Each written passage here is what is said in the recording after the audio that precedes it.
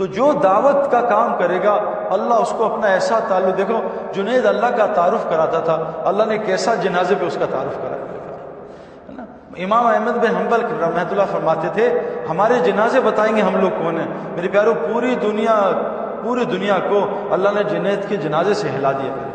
ساری دنیا سے مجھے فون آ رہے ہیں۔ شوبس کے لوگ ہل گئے اس کے جنازوں کے دیکھ کے۔ اتنا بڑا اللہ اللہ کا ولی تھا۔ میرے پیارو جنید کی کوالٹی تھی۔ جنید روزانہ اللہ کا تعارف لوگوں کو کراتا تھا۔ یہ ہمارا مقصد ہے۔ اللہ کی قسم جو روز اللہ کا تعارف کرائے گا، دیکھو اللہ اس کا کیسا دنیا بتا رہا ہے